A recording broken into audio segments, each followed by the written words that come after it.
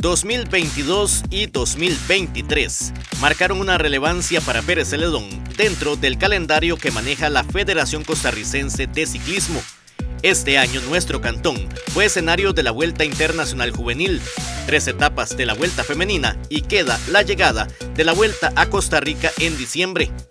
En la FECOSI destacan varios aspectos para tomar en cuenta a Pérez Celedón a la hora de programar competencias. Es que, eh, bueno, tiene condiciones especiales. Primero, la, topografía del terreno, que tenemos plano, tenemos media montaña, tenemos alta montaña.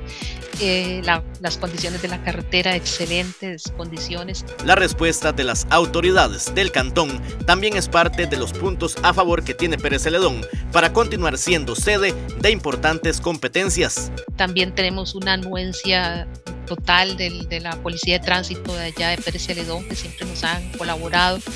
Entonces esos factores hacen que la federación pues escoja para ciertos eventos del año eh, la región de Pérez Celedón y muy contentos porque siempre nos reciben con los brazos abiertos, siempre que solicitamos algo al Comité de Deportes, a la MUNI, siempre eh, nos abren las puertas.